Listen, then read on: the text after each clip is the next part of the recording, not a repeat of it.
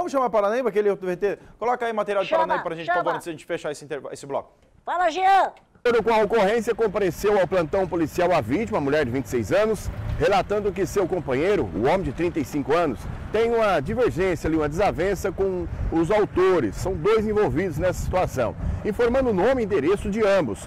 Sendo que na data de ontem, por volta das 3h40 da madrugada, um dos envolvidos, o homem de 27 anos, foi até a sua residência e efetuou um disparo de arma de fogo e ameaçou os moradores do imóvel, dizendo: se vocês forem à polícia, eu volto e mato todo mundo. Posteriormente, o outro autor, conduzindo a motocicleta, mostrou uma arma de fogo e disse: Só não vou matar todo mundo agora, porque você está grávida, se referindo à vítima. Acrescenta a mulher de 26 anos que encontrou uma munição calibre 22 intacta em frente à sua residência. Diante de todas as ameaças, ela procurou então aí a polícia para registrar a ocorrência.